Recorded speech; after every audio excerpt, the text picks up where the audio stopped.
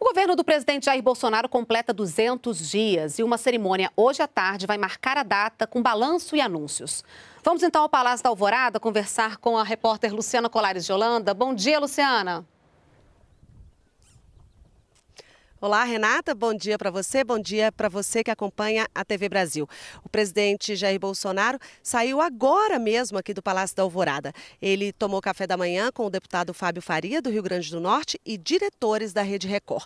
E aqui na saída, na porta do Palácio da Alvorada, ele parou o comboio, desceu do carro para falar com crianças autistas e pais que estavam aqui à espera dele. O presidente ficou mais ou menos uns 10 minutinhos aqui e seguiu para o Palácio do Planalto, onde ele cumpre a agenda durante todo o dia.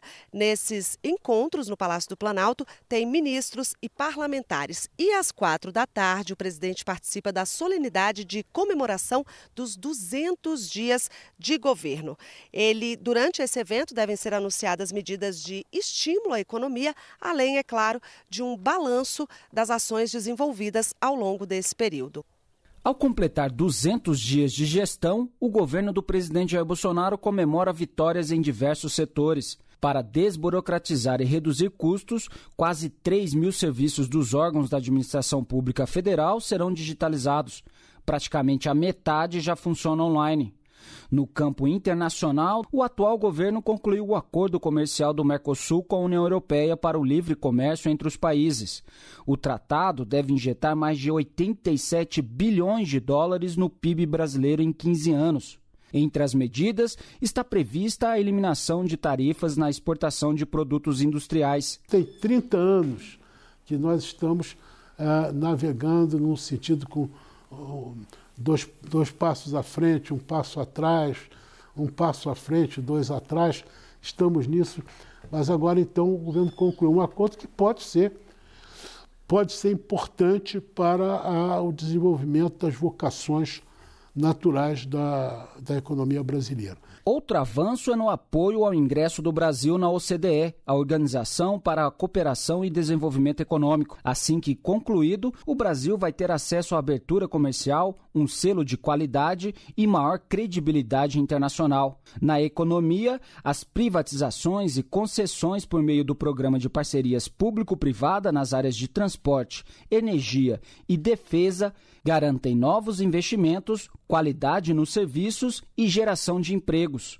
São 100 projetos que vão gerar investimentos de quase 1 trilhão e 400 milhões de reais nos próximos anos. Eu considero o programa de infraestrutura do, do, presidente Bolsonaro o mais bem elaborado. Se você olhar, foi o ministério que já fez concessões de rodovias, licitações e tem projetos estratégicos muito bem elaborados.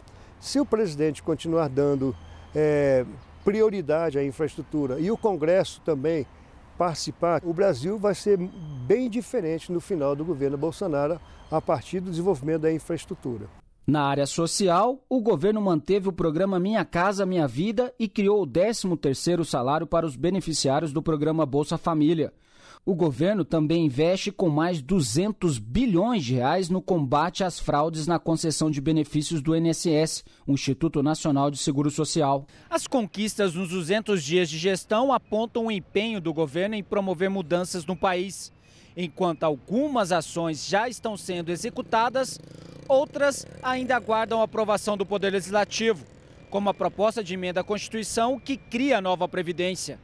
Para a equipe econômica, a medida é essencial para destravar a economia e manter o equilíbrio das contas públicas. A hora do, do preto no branco, que, realmente for, for aprovado, eu acredito que possa haver, primeiro, tem uma valorização de ativos.